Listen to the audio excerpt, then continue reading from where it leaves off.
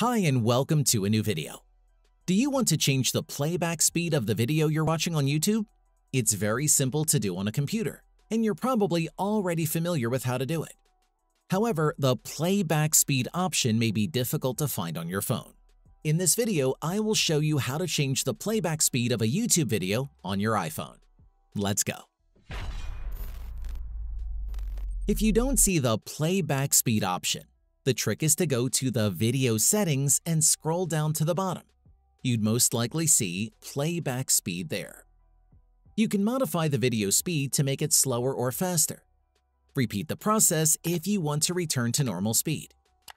Alternatively, if you want to change it when your iPhone is on portrait mode, go to the video settings again and the playback speed option should be available before Watch in VR at the bottom of the screen. And that's it. If I could help you, feel free to give this video a thumbs up and don't forget to subscribe. Leave a comment down below if you have any questions. See you next time. Bye.